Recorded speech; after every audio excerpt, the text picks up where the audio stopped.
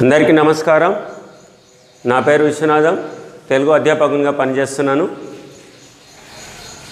శ్రీ గురుభ్యో నమ. తెలుగు భాషా సాహిత్యాలను అధ్యయనం చేస్తున్న విద్యార్థులు సాహితీ రసజ్ఞులందరికీ నమస్సులు. ప్రస్తుత పరిస్థితుల్లో నిజానికి తెలుగు భాష పైన వాడుకలో ముఖ్యంగా ఆంగ్ల ప్రభావం చారిత్రకంగా జరుగుతున్న పరిణామాల క్రమంలో ఉర్దూ ప్రభావం పక్కనే ఉన్న కన్నడ భాష ప్రభావం వల్ల తెలుగు భాష కొంత నిర్లక్ష్యానికి గురి అవుతున్న సందర్భం కనిపిస్తున్నది. అయితే తెలుగు భాష విశిష్టత తెలుగు భాష చారిత్రక నేపథ్యము అందులో ఉన్నటువంటి మాధుర్యం మనం తెలుసుకొని తద్వారా తెలుగు భాష అభివృద్ధికి ముఖ్యంగా కేవలం పుస్తక రచనలు గ్రంథాలలో ఉన్నటువంటి అంశమే కాకుండా వాడుకలో కూడా తెలుగు భాషను ఎక్కువగా మనం ప్రాచుర్యంలోకి తేవలసిన అవసరం ఉందనే ఉద్దేశంతో కొన్ని అంశాలను తెలుగు భాష చారిత్రక సాహిత్య నేపథ్యాలను కొన్ని అంశాలను మేము ముందుంచే ప్రయత్నం చేయబోతున్నాను. తెలుగు భాషకు ఆ పేరు ఎందుకు వచ్చింది? ఎట్లా వచ్చింది? అనేటువంటి ప్రశ్న మన ముందు ఒక్కొక్కసారి వస్తూ ఉంటుంది. అయితే తెలుగు భాషకు ఆ పేరు ఎందుకు వచ్చింది అంటే దానికి చారిత్రక నేపథ్యం చారిత్రక అంశాలు చాలా ఉన్నాయి. అందులో ముఖ్యంగా త్రిలింగ శబ్దభవము తెలుగు.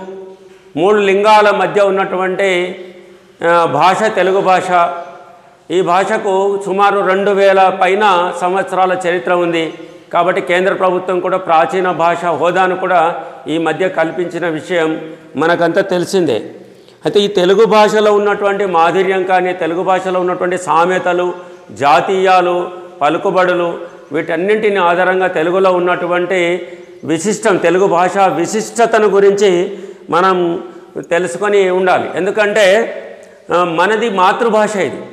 తెలుగు భాష అంటే ఇక్కడ తెలుగు రాష్ట్రాల్లో మనకు భారతదేశంలో అత్యధికులు మాట్లాడేటువంటి భాషను కనుక తీసుకుంటే తెలుగులో తెలుగు మూడవ భాషగా అత్యధిక సంఖ్యాకులు మాట్లాడుతున్న మూడవ భాషగా భారతదేశంలో తెలుగు భాషకు స్థానం ఉంది ప్రపంచంలో తెలుగు భాషను మాట్లాడేటువంటి వాళ్ళ సంఖ్యను తీసుకుంటే ఇది పదహారవ స్థానంలో ఉన్నట్లు ఈ మధ్య యునెస్కో వంటి సంస్థల ద్వారా వాళ్ళు చేసినటువంటి స- సర్వేల ద్వారా మనకు తెలుస్తున్నది.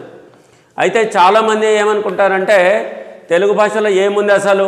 తెలుగులో కాకి కథలు పిట్టకథలు ఏవో మామూలు విషయాలు ఉన్నాయనుకుంటారు కానీ మనం తెలుగు భాష యొక్క ప్రాణం ఎక్కడ ఉంది అంటే తెలుగు యొక్క ప్రాణం ఈ భాష యొక్క ప్రాణం ఉన్నటువంటిది పద్యాలలోనే ఉన్నది. అంటే తెలుగు భాష యొక్క ప్రత్యేకత పద్యంలోనే ఉంది. దాని ఆత్మంత పద్యంలో ఉంది.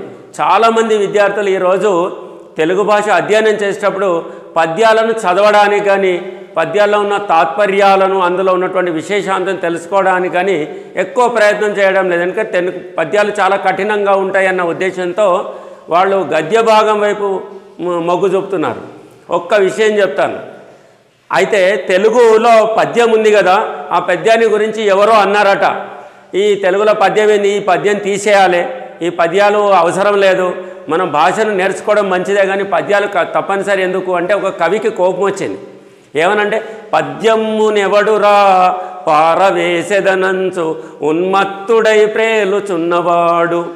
పద్యమ్మునెవడురా పాతి పెట్టెదనంచు వెర్రివాడై విర్ర వీగువాడు పద్యమ్ము నేనాడో పాతినారము మేము. మేమే పద్యాన్ని పాతేసినాం. ఎక్కడ పాతినట పద్యమ్ము నేనాడో పాతినారము మేము లోకుల హృదయాల లోతులందు లోకుల హృదయాలలో వాతాడు. అంటే ఒక మొక్కను భూమిలో నాటితే అది పెరిగి వటవృక్షమై పెద్దదై ఫలాలను ఇస్తుంది కదా. అట్లా వెయ్యి సంవత్సరాల క్రితమే పద్యము అనేటువంటిది ఒక చిన్న మొక్కను లోకుల హృదయ క్షేత్రాలలో నాటితే అది ఇప్పుడు వృక్షమే పండ్లనిస్తున్నది పద్యము నేనాడ పాతినారము మేము లోకుల హృదయాల లోతులందు పద్యము ఫలములు పద్యము పెరిగి పద్యము పెరిగి పద్యము నేనాడ పాతినారము మేము లోకుల హృదయాల లోతులందు పద్యమన్నది వెయ్యేండ్ల పసిడి పంట పద్యమన్నది ఇంటింట ప్రబలునంట. కవిత పద్యమన నీకేల కడుపు మంట కాబట్టి తెలుగు యొక్క ప్రాణము దాని ఆత్మ పద్యంలో ఉన్నది. ఇది మనం గమనించాలి. అందుకే మాతృభాషను మనం కనుక విడిచిపెడితే మాతృభాషను మాట్లాడడం కానీ మాతృభాషను అధ్యయనం చేయడం కానీ వదిలిపెడితే మన సంస్కృతిని మనం కోల్పోతాం. ఎందుకంటే ప్రతి భాషలో అంతర్లీనంగా ఒక సంస్కృతి ఉంటుంది. ఒక ప్రాంతంలో ఉన్న ప్రజల యొక్క ఆచార వ్యవహారాలు కావచ్చు సాంప్రదాయాలు కావచ్చు వాళ్ళ అలవాట్లు కావచ్చు జీవన విధానం కావచ్చు ఆ భాషల్లో మనకు ప్రస్ఫుటంగా కనిపిస్తుంది. అందుకే ఒక తల్లి రుణము తీర్చుకోలేని తనయుడు ఉండడం తల్లి రుణము తీర్చుకోలేని తనయుడు ఉండడం ఎటువంటిదో మాతృభాషను నిందించడం కానీ మాతృభాషను మాట్లాడకుండా ఉన్నటువంటి మనం ఆ విధంగా ఉండడం కూడా అటువంటిదే. అందుకే అక్షరాక్షరమందు ఆ సరస్వతి రూపు తెలుగు భాష ఎటువంటిది అంటే అక్షరాక్షరమందు ఆ సరస్వతి రూపు ప్రత్యక్షమునరించు ప్రథమ భాష. నన్నయాదుల నుండి నవయుగ కవిదాక ఆత్మశక్తిని గోర్చు అమృత భాష. గొడ్ల కాపరి కూడా గొంతెత్తి కోయిలై పద్యమాలాపించు హృద్య భాష భక్తితో ఆర్తితో ఆర్ద్రతన్ పాడగా రాగానుకూలమౌ రమ్య భాష వెలయ త్యాగయ్య కృతులలో వెన్నపూస విభుడు శ్రీకృష్ణరాయల విజయఘోష జనత ఏదైనా సాధించు జనుల శ్వాస. దివ్య ప్యాపా దివ్య వేదాల పనసన తెలుగు భాష దివ్య వేదాల పనస ఇది. చూడండి మనము ఏదైనా ఒక అంశాన్ని మన జీవితంలో ప్రామాణికత ఏమిటి? ఒక ధర్మం లేదా సత్యం ఒక జీవన విధానం వీటిలో మంచి చెడ్డలను గురించి పలికి మనం మాట్లాడుకునేటప్పుడు దేన్ని ప్రమాణంగా తీసుకుంటాం? దేన్ని ప్రామాణికంగా తీసుకుంటామంటే వేదాన్ని ప్రామాణికంగా తీసుకుంటాం. వేదం ప్రభు సంహితం అది శబ్ద ప్రధానం పురాణం మిత్ర సంహితం అది అర్థ ప్రధానం కావ్యం కాంతా సంహితం అది భుక్తి ప్రధానం అంటే వ్యక్తికి ధర్మోపదేశం చేయడంలో వ్యక్తికి సత్యసంధతను గురించి తెలియజేయడంలో లేదా వ్యక్తిని ఒక మంచి మార్గంలో ధార్మిక మార్గంలో పెట్టడానికి ముందు వేదం ప్రామాణికంగా వచ్చింది. అందుకే మాతృదేవో భవ పితృదేవో భవ ఆచార్య దేవోభవ అతిథి దేవోభవ అనేటువంటి వాక్యాలు వేదం నుంచి వచ్చినాయి. ముందుగా అంటే వేదం ప్రామాణికమైనటువంటి వేదం ఎంత ప్రామాణికమైనదో మన జీవితంలో తెలుగు భాషకును అంతే ప్రామాణికమైనది. అందుకే పాల్కురికి సోమనాథుడు పన్నెండవ శతాబ్దంలో పాల్కురికి సోమనాథుడు ఈ భాషను గురించి చెప్తూ అంటాడు. అసలు తెలుగు భాషకు ఏం ప్రామాణికత ఉన్నది? తెలుగు పదాలు అలతి అలతి పదాలే కదా. దీంట్లో ఏమున్నది అనుకుంటారు? ఆయన అందుకే అన్నాడు. ఉరుతర గద్య పద్యోక్తుల కంటే సరసమై పరుకు జాను తెనుంగు నింపు పెంపుగా. ఉరుతర గద్య పద్యోక్తుల కంటే సరసమై పరుకు జాను తెనుంగు నింపు పెంపుగా. కూర్చద ద్విపదలు కోరిక దైవారు అంటాడు. ద్విపద ఛందస్సు అనేది దేశీ ఛందస్సు. తెలుగు భాషకు ఉన్నటువంటి ప్రత్యేకమైన ఛందస్సు అది. ఉత్పలమాల చెంపకమాల శార్దుల మత్యబాదుల ఛందస్సులు ఉన్నాయి. అయితే కొంత సంస్కృతం యొక్క ప్రభావం తెలుగు పైన ఉన్నది. అయితే దేశీ ఛందస్సు తెలుగులో అచ్చ తెలుగుకు సంబంధించినటువంటి ఛందస్సును దేశీ ఛందస్సు అది ద్విపద ఛందస్సు ద్విపదలో. అందుకే బసవ పురాణాన్ని పాల్కురికి సోమనాథ సోమ పాల్కురికి సోమనాథుడు రాసిన బసవ పురాణం పండితారాధ్య చరిత్రం ద్విపద ఛందస్సులో ఉన్నది. దాన్ని దేశీ ఛందస్సు అంటాం. అందుకే అంటాడు ఉరుతర గద్య పద్యోక్తుల కంటే సరసమై పరుగు జాను తెనుంగు నింపు పెంపుతో కూర్చెద ద్విపదల కోరిక దైవార తెలుగు మాటలు అనంగవలదు ఇది వేదముల కొలది. తెలుగు మాటలు అనంగవలదు ఇది వేదముల కొలది. వేదం ఎంత ప్రామాణికమైనదో తెలుగు భాష అంత ప్రామాణికమైనదని నిరూపించిన కవులు మన ముందు ఉన్నారు. ఒక్క విషయం మనం ఈ సందర్భంగా ఆలోచించాలి. రామాయణాన్ని ఎవరైనా పారాయణం చేద్దామనుకుంటే పెద్దవాళ్ళు పారాయణ గ్రంథాలుగా తీసుకున్న సందర్భంలో రామాయణ పారాయణాన్ని చేసేటప్పుడు ఏ గ్రంథం తీసుకుంటారంటే వాల్మీకి రామాయణాన్ని తీసుకుంటారు.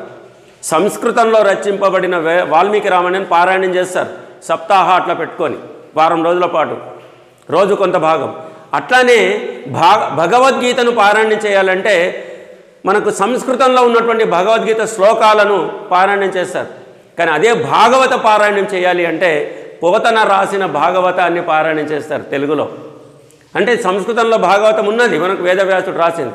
అయినప్పటికీ తెలుగులో పోతన రాసిన భాగవతాన్ని పారాయణం చేస్తున్నారు అంటే అంతటి ప్రామాణికమైనటువంటి గ్రంథాలు మనకు తెలుగు భాషలో వచ్చినాయి. జంధ్యాల పాపయ్య శాస్త్రి గారు కరుణశ్రీ జంధ్యాల పాపయ్య శాస్త్రి గారు మనకు భాగవతాన్ని రచించినటువంటి విధానాన్ని గురించి చెప్తూ అంటాడనమాట. అసలు పోతన గురించి ఏమంటాడు? అచ్చపు అంటే ఇందులో తెలుగు భాష మాధుర్యం కూడా ఉన్నది చూడండి. అచ్చపు జుంటితే నీయలనైందవ బింబ సుధారసాల గోర్వెచ్చని పాలమీ గడలు వెచ్చడి కన్నె గులాబి మొగ్గలన్ మచ్చికరించునే మధుర మంజుల మోహన ముగ్ధ శైలి. నీ వెచ్చట నేర్చినావు సుకవి సుకుమార కళా కళానిధి అంటాడు. అంటే అయితే ఇందులో భాష చూడండి. అచ్చపు జొంటి తేనీయలు మంచి తేనె. అందులో అమృతం కలిపితే అసలు అమృతం తాగండి మీకు అసలు మరణం లేదంటే చేదుగా ఉన్న తాగేస్తాం.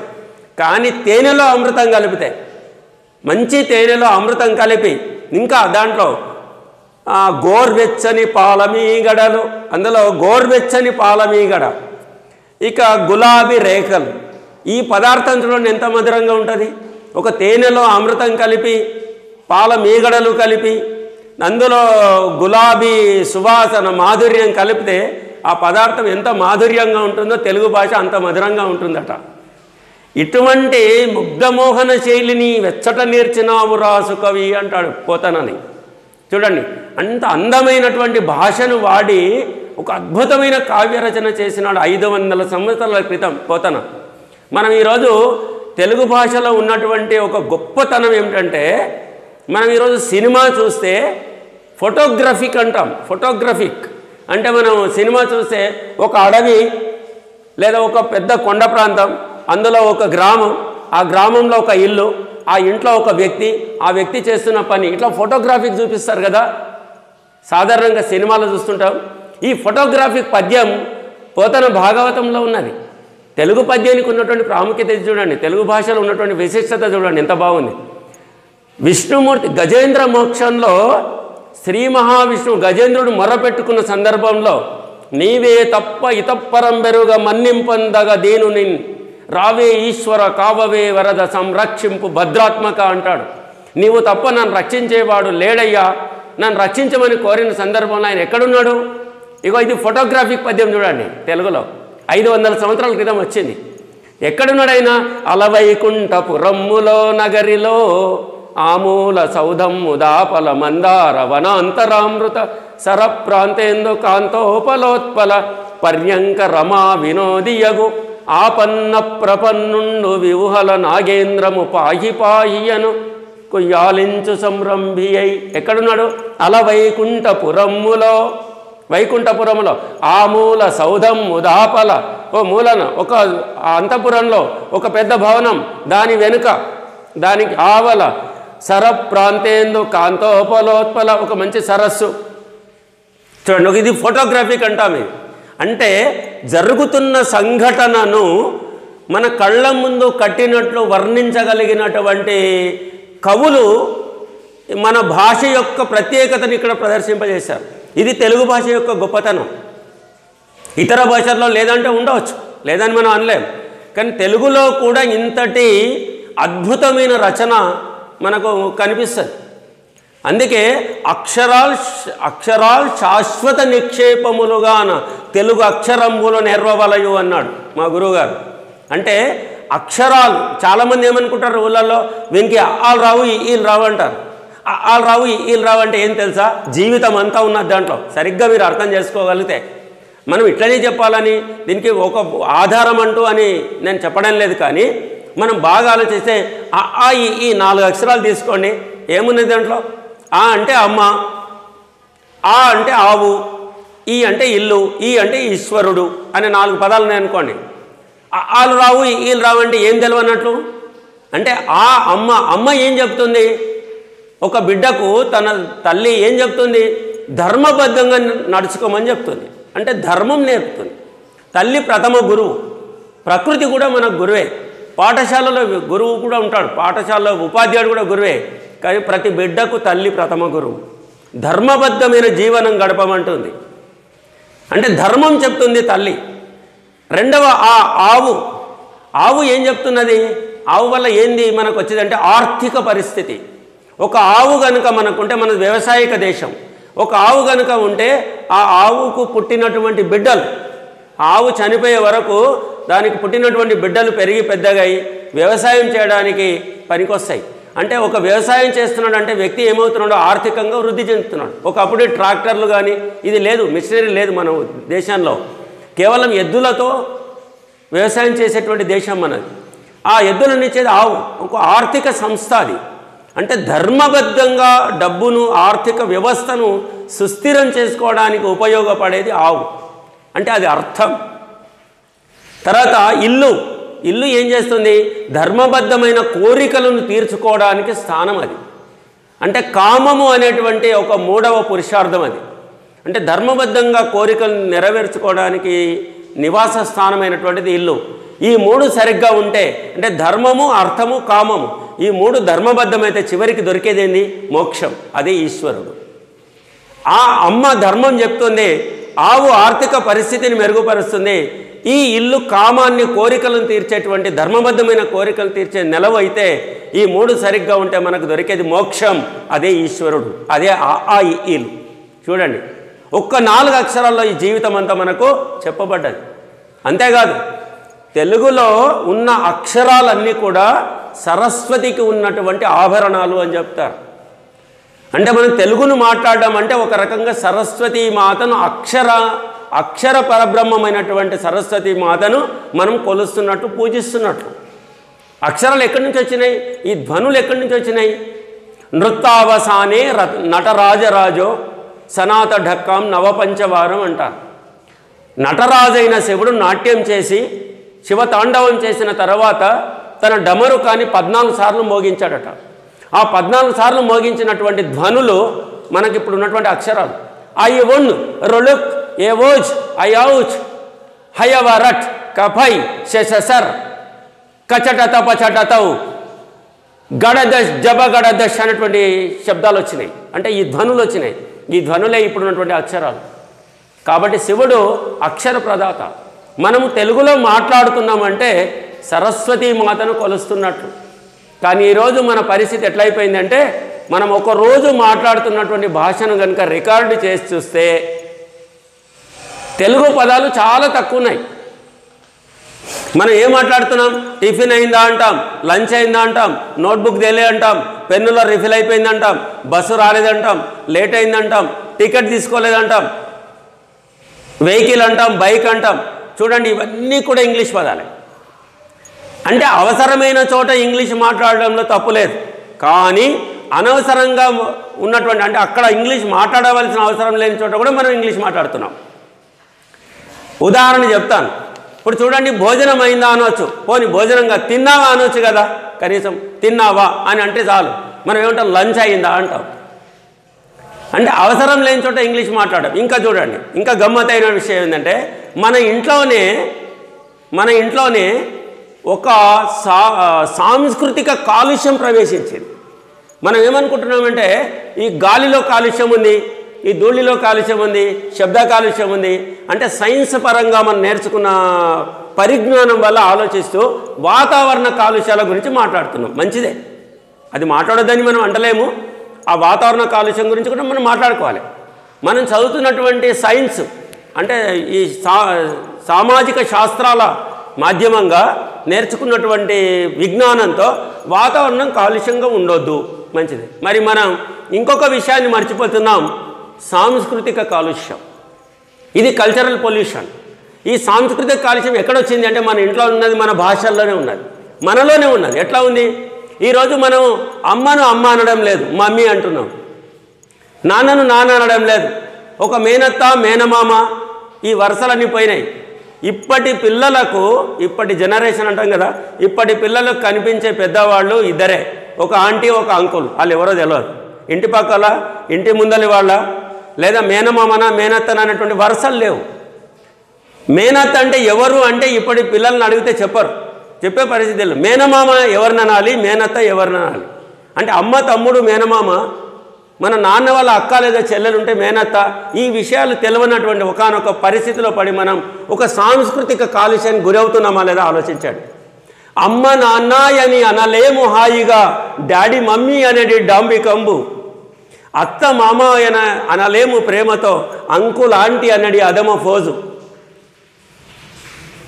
ధన్యవాదము తెలుప దమ్ము జాలదుగాను దండిగా చెప్పారు థ్యాంక్స్ అనుచు స్వాగతమ్ములు చెప్ప సామర్థ్యమే లేదు. వెలుకమ్ము అని చెప్పు వెర్రితనము.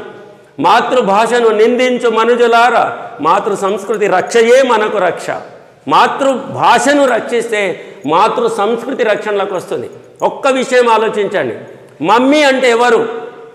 ఈజిప్టులో పిరమిడ్ల కింద ఉన్న శవాలు. ఈరోజు మన అమ్మను మమ్మీ అని పిలుస్తున్నామంటే చచ్చిన దాన అని పిలిచినట్లు. ఎంత దౌర్భాగ్యం ఇది? ఒక బిడ్డ తన తల్లిని ఏమని పిలవాలి?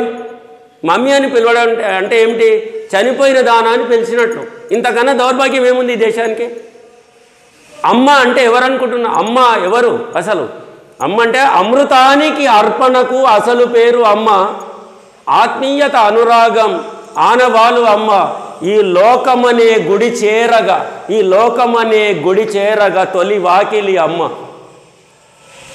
అవి ఎంత గొప్ప అసలు? మీరు ఒకసారి ఆలోచించండి. శ్రీనాథ మహాకవి ఒక కథలో చెప్తాడు ఒక గుణనిధి కథలో చెప్తాడు. బిడ్డ బయటికి వెళ్తున్నది అంటే ఇప్పుడు మీరు చూడండి మీరు కాలేజీకి వస్తుంటారు లేదా స్కూల్కి వస్తుంటారు పిల్లలు. పొద్దున ఏడు గంటలకు బయలుదేరాలి అనుకోండి. స్కూల్కు పొద్దున మనం ఏడు గంటలకే బయలుదేరాలి. మనకు దూరం ఉంది స్కూలు లేదా కాలేజీ.